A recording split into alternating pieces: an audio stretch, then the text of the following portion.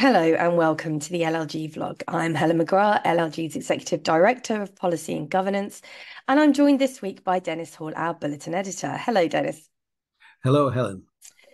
Busy week as ever, I say it every week. So, what have you picked for us to discuss, Dennis? Well, I thought we'd take a look at the uh, the new Committee on Standards Chair's latest blog, uh, which is about accountability and the post office scandal. And it resonates with key issues that potentially we face in our sector. Bringing in a new IT system to modernize a seriously outdated system is never as straightforward as one hopes, don't we know it? But the catastrophic impact of the Horizon system at the post office and the subsequent handling of the problems asks major questions about the standards of public sector and corporate conduct.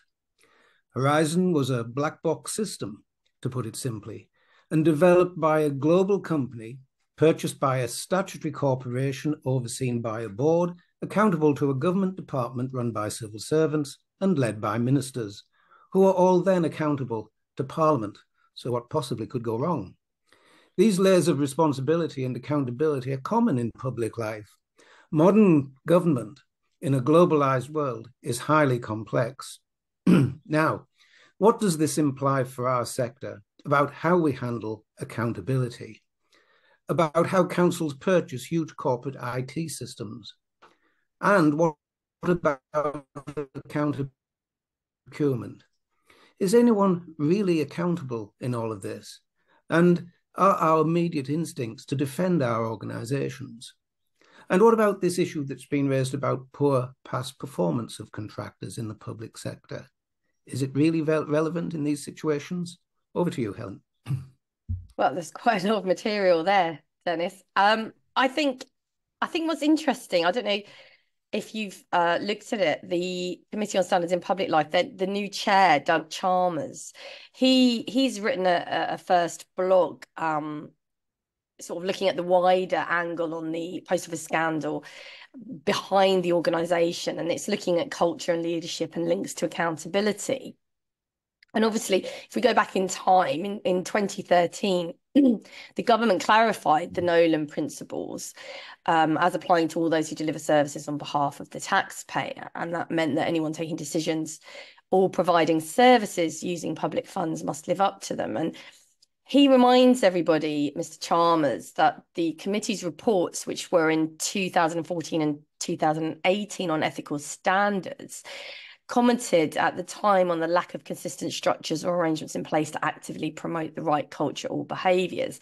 And I think it's important to actually listen to what he says here because he says that organizational policies and schemes alone are not enough, creating a speak up culture requires leaders to listen with curiosity and appreciation. And that's really um, key, I think. He goes on to take action where appropriate and to provide mm. feedback mm. on the outcome. Leadership in this area requires a proactive approach, creating a range of informal and formal opportunities to listen to employees and an ongoing commitment to building a culture where people are encouraged to speak up and are comfortable doing so. So, you know, he I mean, in a nutshell, there we, we know, don't we, that that's how we've got to um, address behaviour and culture within uh, mm. public life and in local authorities. But you know, how do we move to a position where that's actually taking place and is the expected standard? Because it seems to me that trying to drive people towards accepting and listening and taking action that's that's the hard thing here so what happened at the post office, you know, really begs questions about their culture and relationships. And, it, and indeed, if you look at public interest reports, if you look at um, interventions, this is what we're seeing time and time again culture, culture, culture. And as you know, I've been watching all these post office inquiry hearings on TV and I find them totally absorbing. But, you know, Helen, this piece by Doug Chalmers raises lots of issues around accountability in the procurement of major IT systems, which I know that, that they're going to examine this in the inquiry.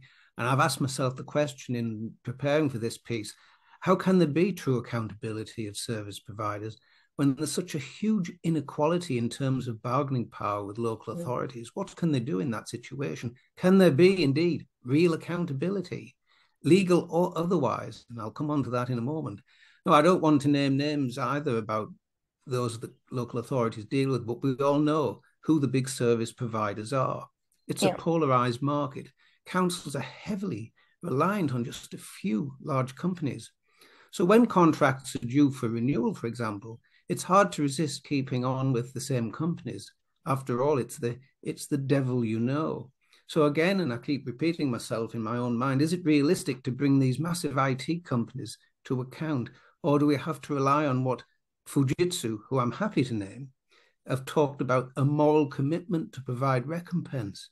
Is it just a moral commitment? Are there no legal obligations given the raft of uh, complex contracts that undoubtedly will be in place mm. between the post office and Fujitsu? But have we come at the end of all of this just to a moral obligation with all of this in place? Is it simply a matter, uh, I wonder, of whether these systems are too big and complex to procure effectively? Can a single local authority dealing with a company like Fujitsu ever achieve a proper parity of bargaining power? Now, local authorities collectively combine in bodies known as central purchasing organizations to deal with multi authority procurements.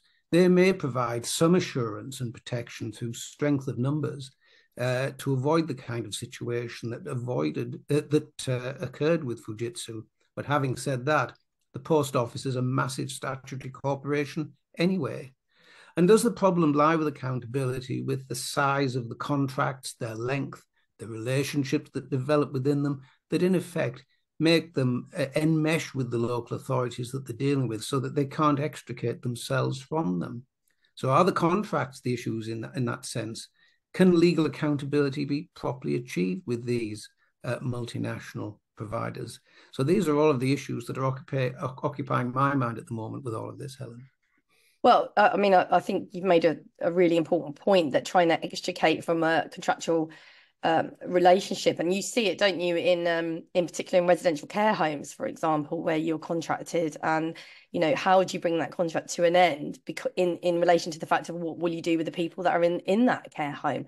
If there's mm. been service failures. But in Fujitsu's case, uh, you know, the relationship between central government and Fujitsu is a is a well, it's an interesting one. Let's be diplomatic. Yes because they've been awarded billions of pounds of contracts, haven't they? Despite reports, um, I think it was reported in the Financial Times that they've been um, quite aggressive and sometimes hostile bidder um, with a track record of, of major systems issues across Whitehall. So you know, how does that sit with the law in relation to um, procurement? And I'm no expert. I always leave that to Kieran McGahey, but I know that you certainly in practice um, dealt quite a lot with procurement issues. But I think that there must surely be some provision around uh, past past failures in, rela- in relation to future awards, Dennis.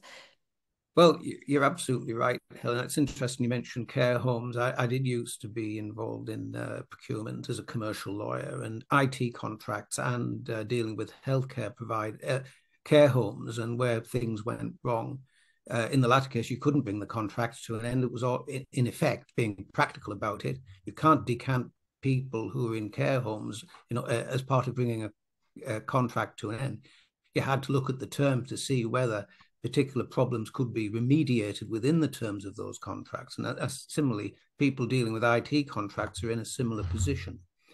Uh, but of course, there are uh, rules and regulations, the latest being uh, Procurement Policy Note 4 of 2015, which sets, that, sets out the current government policy to ensure bidders' past performance is taken into account uh, in terms of those contracts which are in scope, which is usually the very large contracts. Uh, and there are arrangements which provide that in scope organizations are required as a matter of policy to establish selection criteria within the tender process uh, relating to a supplier's reliability as demonstrated by its, uh, the performance of its past contracts.